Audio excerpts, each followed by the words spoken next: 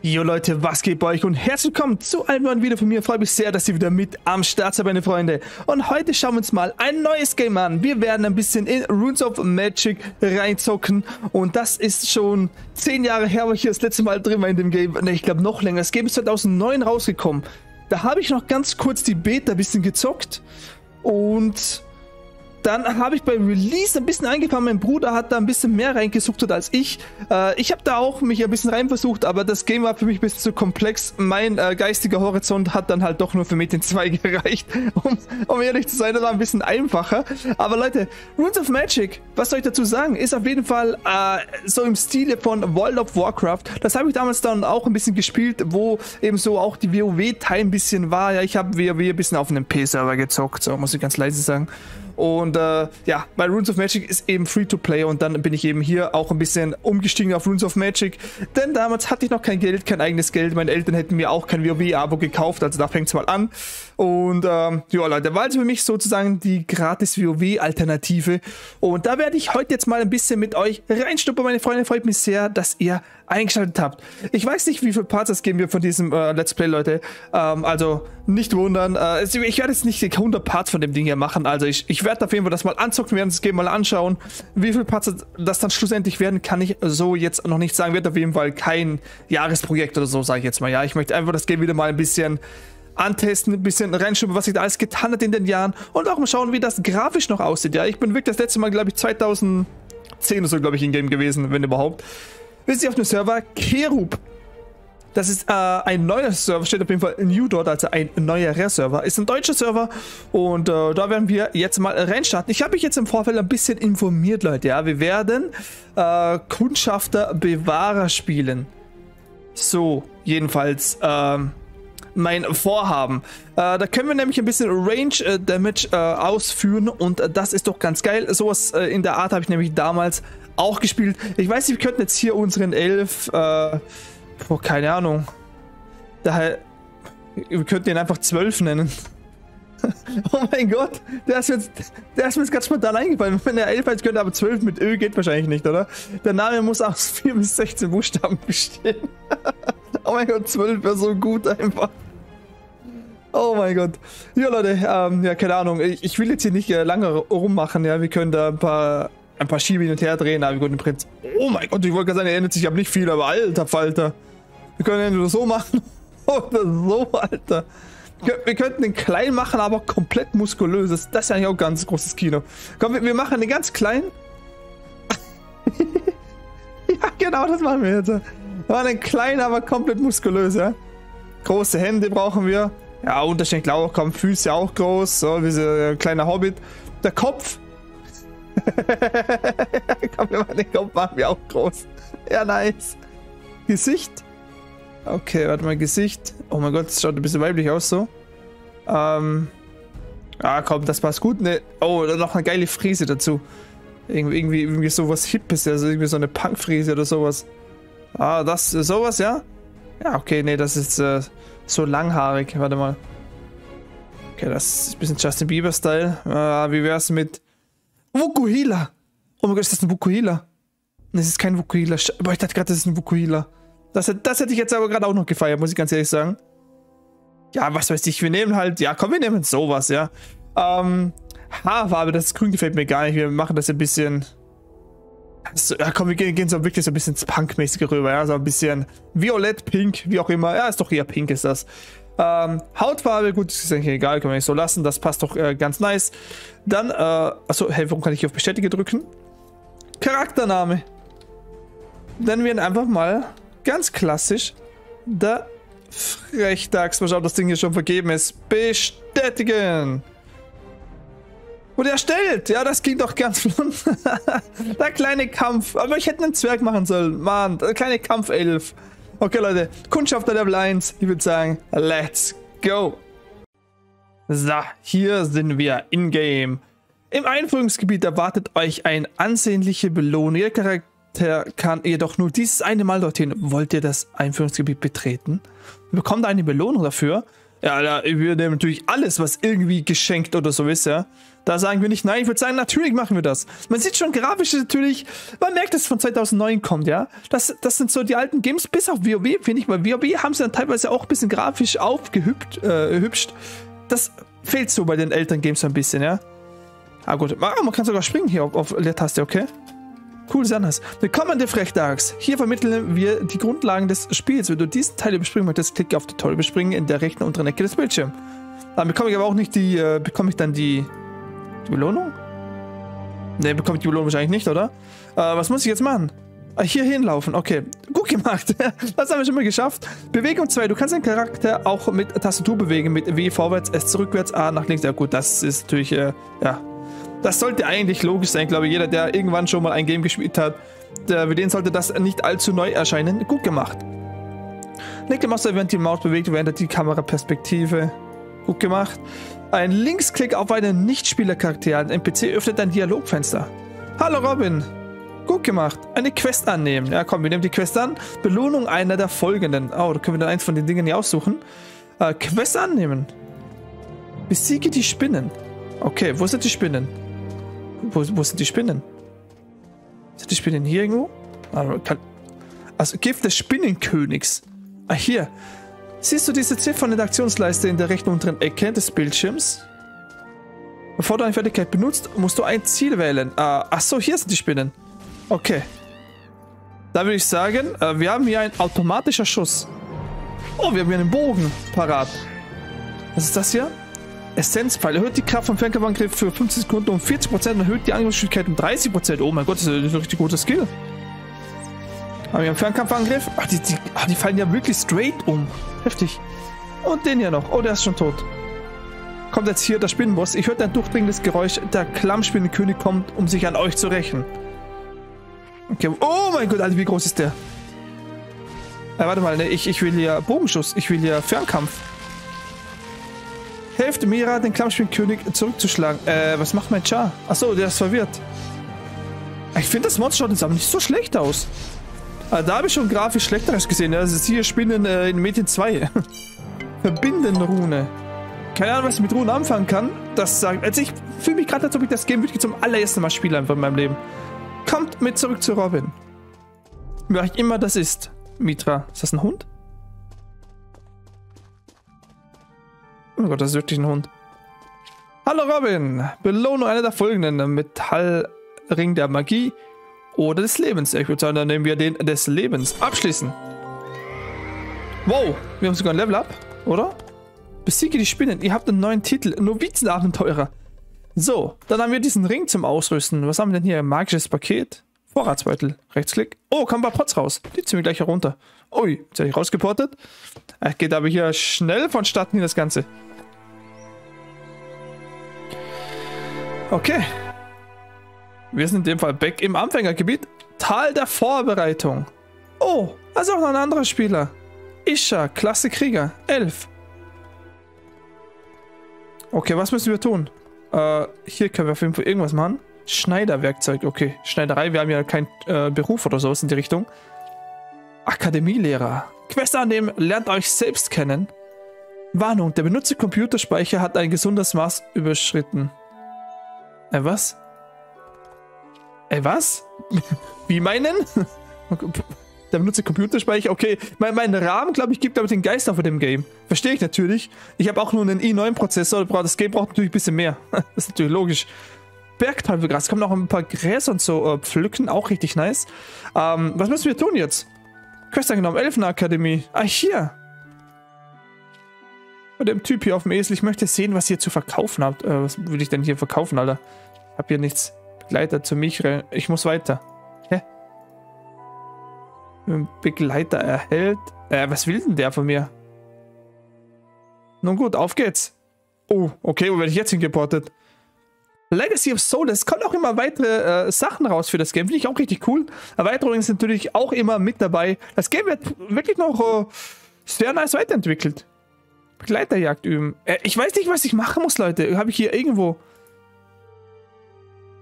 Dieser Elfenaktivität wird hauptsächlich äh, Quest-Empfänger. Wo ist denn der? Äh, ich, ich, warte, was mache ich denn hier überhaupt? Wo bin ich denn hier überhaupt? Was mache ich? Wer bin ich? Wieso bin ich hier? Farmpaket, Quest annehmen, süße Milch.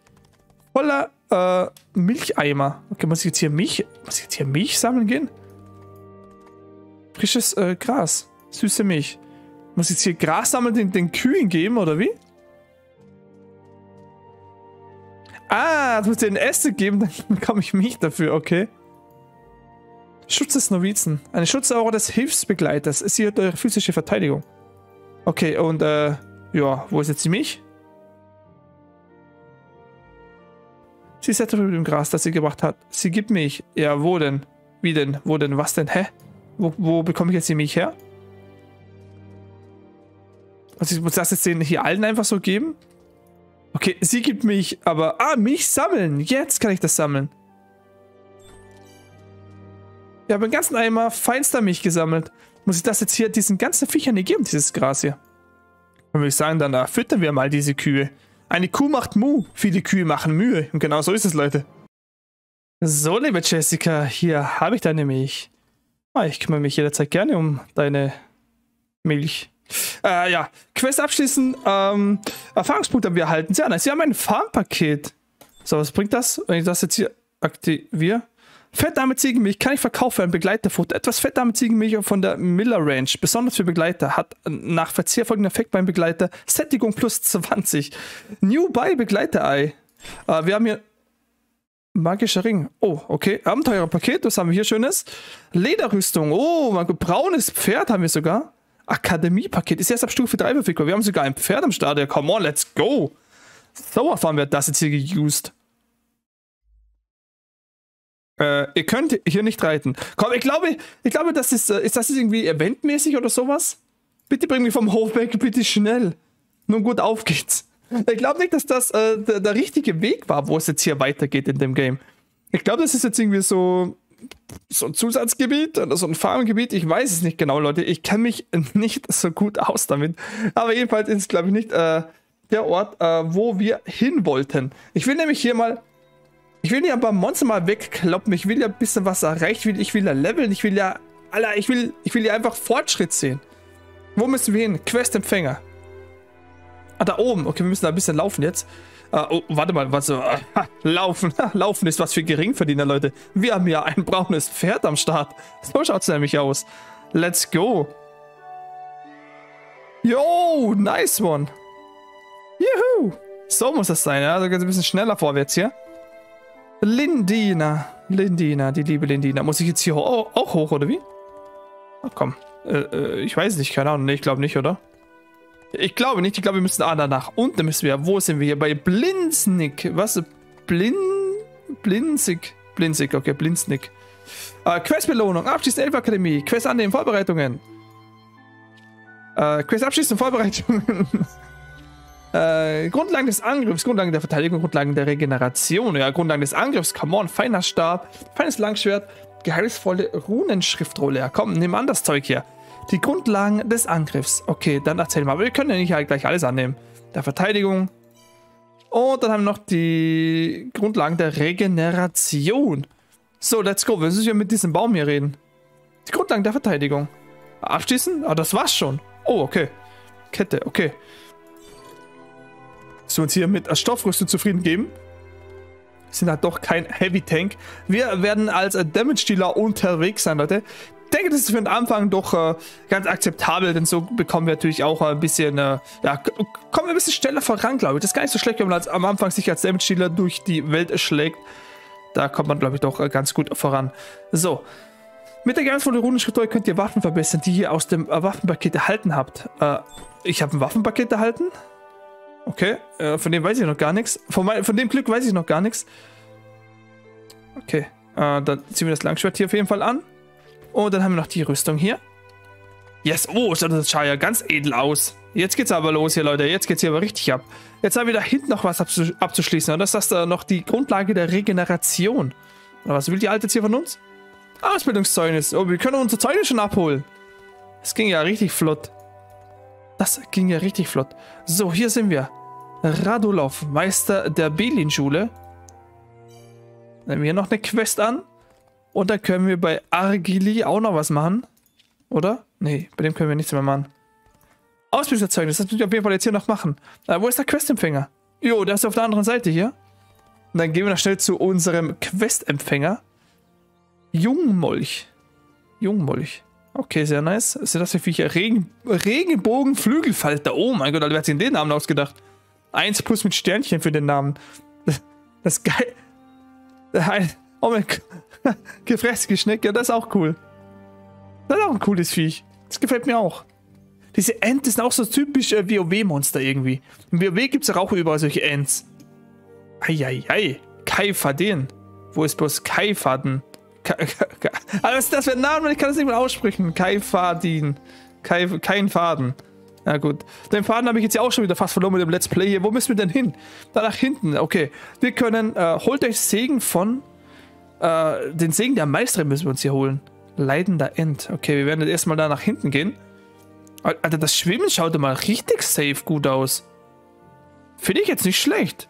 Das ist echt schön animiert für so ein altes Game. Das schaut bei manchen Games heutzutage noch ein bisschen schlechter aus, ein bisschen düster aus, was das anbelangt. Ja, solche, solche kleinen Animationen wie so Schwimmen oder Springen oder sowas.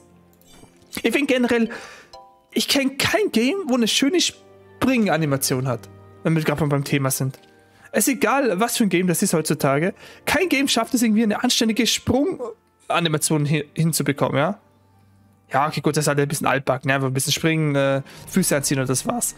Aber äh, wirklich so, so, eine, so eine richtig gute Sprunganimation gibt's einfach gar nicht, ja? Springen schaut allgemein einfach scheiße aus bei den Menschen. Ich weiß nicht. Das, das, kann, man, das kann man nicht immer schön äh, animieren. Ist das Problem. So. Ähm.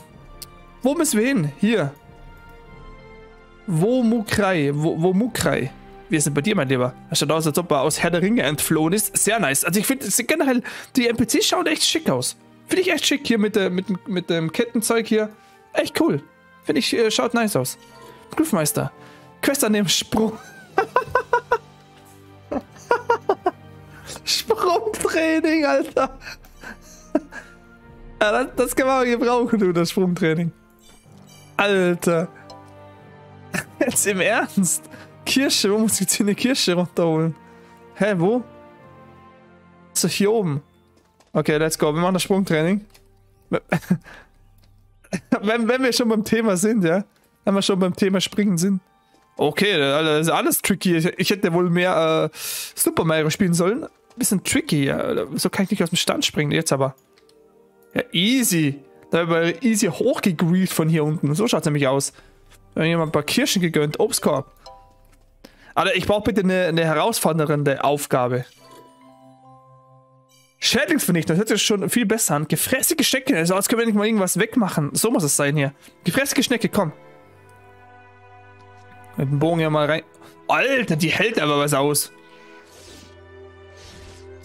Wieso hält die so gut aus? Jetzt, jetzt kippt das Ding hier um hier.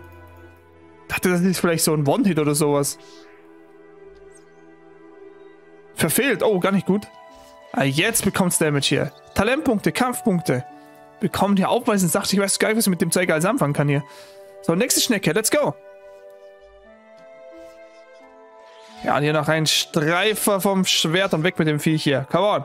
Dann haben wir noch zwei weitere von diesen Schnecken. Wir sind hier ganz kurz vor Level Wir sind schon fast Level 5, Leute, ja. Haben noch nicht mal wirklich was dafür gemacht. Let's go. Oh, das ein Regenbogen-Flügelfalter. Ups, den wollte ich jetzt nicht. Ah, der Typ ist auch ein bisschen... Der ist ein bisschen schwieriger zu besiegen. Aber halt auch nicht wirklich herausfordernd. So, wo sind die Schnecken? Da hinten haben wir noch ein paar von den gefräßigen Schnecken. Let's go. Die erste, die erste wirkliche Kampfquest, wo wir hier haben, praktisch, ja? Ja gut, bis auf die, das äh, Intro mit den Spinnen hier. Ja gut, das, Kampf, das Kampfsystem ist halt wirklich, ja, WoW-like einfach, ja? Wer WoW gerne mag, der wird auch wahrscheinlich mit Runes of Magic seine Freude haben. Das Einzige, was ich jetzt so ein bisschen rausgelesen habe, ich habe mich davor ein bisschen im Forum ein bisschen erkundigt und so, ja. Äh, es soll doch sehr stark Pay-to-Win sein. Ganz ehrlich, Leute, es hätte mich eher gewundert, wenn es das nicht wäre. Es ist ein klassischer Gameforge-Titel. Und äh, wenn so ein altes Game Free-to-Play ist, Leute, no nah. Halt, ich meine, das ist dann irgendwie wirklich fast, so, fast schon äh, selbst erklärt. Wer da ersch sich erschreckt, oh, das Game ist Pay-to-Win, ernsthaft? Sorry, aber Leute, von was soll sich bitte so ein Game dann äh, erhalten? Von Luft und Liebe und von äh, positiven Vibes oder so. Ich weiß nicht. Aber also echt ein Klassiker, dass eben so ein Game von Pay to Win natürlich zu erhalten ist und nicht anders. So, meine Freunde, ich hoffe, der erste Part von... Oh, ach, können wir Von uh, Runes of Magic hat euch gefallen? Falls ja, lasst es mich gerne wissen unter in den Kommentaren, Leute. Und dann sehen wir uns hoffentlich gesund und munter beim nächsten Part. Sollte euch das Video wirklich gut gefallen haben, lasst mir gerne ein Like, ein Comment, ein Abo da. Und dann sehen wir uns wieder, Leute. Macht's gut, bis dann. Ciao, ciao.